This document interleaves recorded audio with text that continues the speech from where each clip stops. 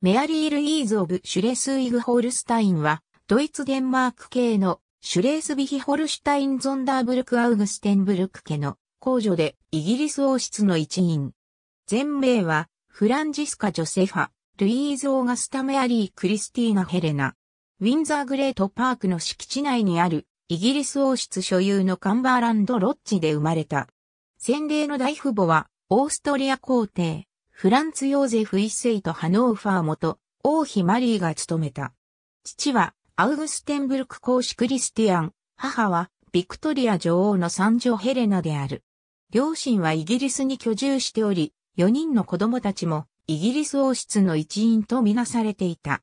1866年の開封勅許状によれば、メアリー・ルイーズの姓名は、メアリー・ルイーズ・オブ・シュレスウィグ・ホールスタインであった。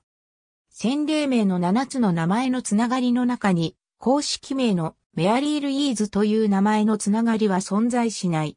1891年7月6日、ウィンザー城のセントジョージ礼拝堂で、ドイツのアンハルト公、フリードリヒ一世の三男アリベルトと結婚した。この縁組は、メアリー・ルイーズのいとこである、ドイツ皇帝ビルヘルム2世の勧めで実現したものだった。しかしこの結婚は不幸で、夫妻の間には子供もできなかったが、それはアリベルトが同性愛者だったためだと言われている。アリベルトは男性の召使いと一緒にベッドに入っているところを妻や父親に見つけられていた。1900年12月、岐阜のアンハルト校は君主体験を発動して、メアリー・ルイーズとアリベルトの結婚を解消した。メアリー・ルイーズはこの時、カナダにいたが、すぐさまイギリスに帰国した。離婚後、イギリスに戻ってメアリー・ルイーズは、慈善活動や芸術の講演に力を注いだ。彼女は、イギリスの工芸職人の技術を世界に示すべく、メアリー王妃のドールハウスの制作を後押しした。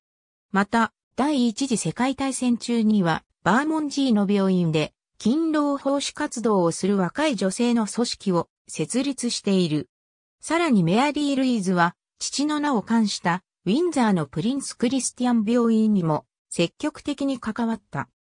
1917年7月、ジョージ5世は王家の姓をサクスコーバーグ号家からウィンザー家に解消すると同時にイギリス国籍を得ているドイツ系の親戚たちにもドイツ由来の称号、継承、姓を使うのを止めるように求めた。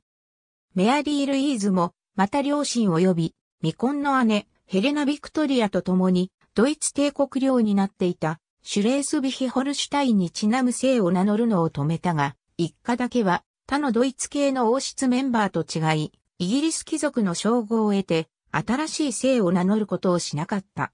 つまり、メアリー・ルイーズは、単にプリンセスメアリー・ルイーズとだけ名乗ったのである。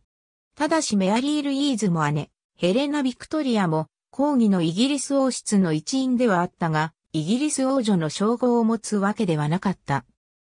姉妹が独身女性のみで、イギリス貴族の爵位を受けて、レティの継承で呼ばれ、王族身分を示す、ハイネスの継承を捨てるというのは不具合なので、ドイツ系の加盟を捨てる一方で、プリンセスの地位を保つのがより賢明な選択だったので、ある。